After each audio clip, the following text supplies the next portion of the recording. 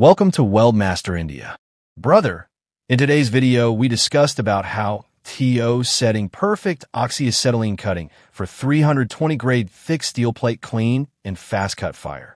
For 320 grade thin steel plate, when we cut normally, we just adjust to a neutral flame. Look at the cutting oxygen.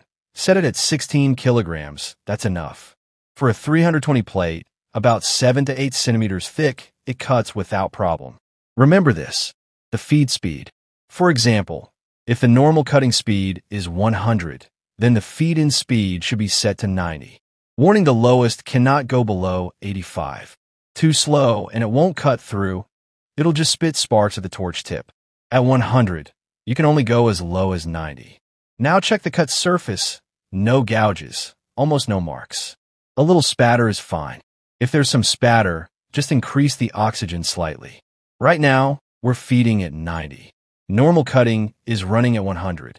For this 320 steel plate, the nozzle we're using is in the 300 to 300 range. Cutting oxygen pressure, 16. When feeding in, if normal cutting speed is 100, the lowest is 90. At 85 it still works, but any lower is no good. Also depends on the gas jet performance. This way, there's no problem at all.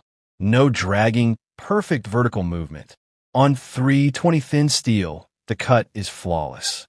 Subscribe Weldmaster India for more information